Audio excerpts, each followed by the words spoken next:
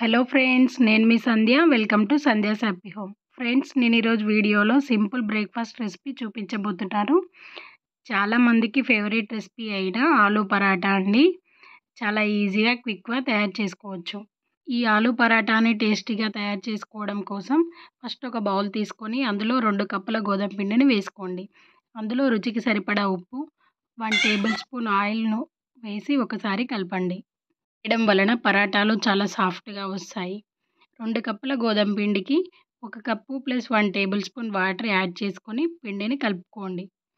చపాతీ పూరి రోటీ పుల్కా ఇలా ఏది చేసుకున్నా ఈ క్వాంటిటీతో చేసుకుంటే చాలా సాఫ్ట్గా వస్తుంది. ఇలా ఈ వీడియోలో చూపిస్తున్న విధంగా చేత్తో పిండిని సాఫ్ట్గా తయారు చేసుకోవాలి. ఇలా రెడీ చేసి పెట్టుకున్న పిండిని మూత పెట్టి ఒక అరగంట పాటు నానబెట్టుకోవాలి. నానబెడితే చపాతీలు కానీ పుల్కాలు కానీ చాలా సాఫ్ట్గా వస్తాయి అన్నమాట ఈలోపు మనం మూడు మీడియం సైజ్ ఉండే బంగాళదుంపల్ని తీసుకొని మెత్తగా ఉడికించి పైన పొట్టు తీసుకొని మ్యాష్ చేసుకొని పక్కన పెట్టుకోండి.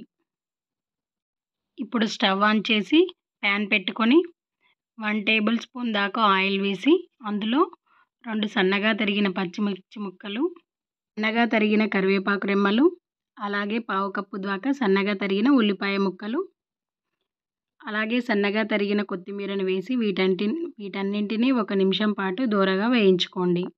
హాఫ్ టీ స్పూన్ దాకా అల్లం వెల్లుల్లి పేస్ట్ వేసి వాసన పోయేంత వరకు ఒక నిమిషం పాటు వేయించండి. ఒక నిమిషం వేయించిన తర్వాత చిటికెడు పసుపు టీ స్పూన్ కారం వేయండి. మనం ఆల్రెడీ పచ్చిమిర్చి వేసాం కాబట్టి తక్కువ తీసుకుంటున్నాను. మీరు మీ రుచికి తగినట్టుగా తీసుకోండి. స్పూన్ ధనియా పొడి హాఫ్ టీ స్పూన్ జీలకర్ర పొడి వేసి ఒకసారి కలపండి. పొడులన్నింటినీ ఒక నిమిషం పాటు వేయించండి. ఈ మసాలాలు మాడిపోకుండా లో ఫ్లేమ్లోనే పెట్టుకొని ఫ్రై చేసుకోవాలి. ఆ తరువాత మనం మ్యాష్ చేసి పెట్టుకున్న పొటాటోను కూడా వేసుకొని అంతా ఒకసారి కలిసేటట్టుగా బాగా కలుపుకోవాలి.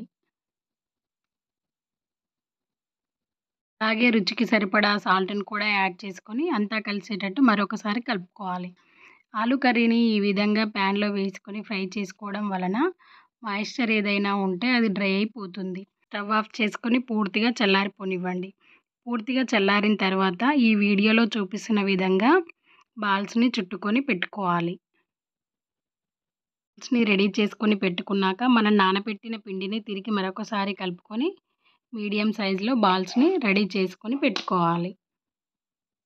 తరువాత ఒక్కొక్క బాల్ని తీసుకొని మధ్యలోకి బొటన వేలుతో ఈ విధంగా నొక్కుతూ బౌల్లాగా తయారు చేసుకోవాలి.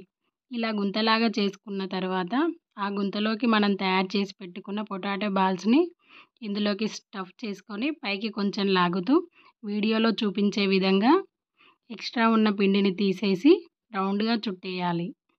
అన్ని బాల్స్ని ప్రిపేర్ చేసుకోవాలి. ఇదే విధంగా అన్ని బాల్స్ని ప్రిపేర్ చేసుకొని పక్కన పెట్టుకోండి. ఇప్పుడు ఈ పరోటా బాల్స్ పైన కొద్దిగా గోధుమ పిండిని చల్లుకొని మూత పెట్టి పక్కన పెట్టుకోండి. ఒక్కొక్క బాల్ని తీసుకొని పైన పొడిపిండి చల్లుతూ పరోటాలని ఒత్తుకోవాలి.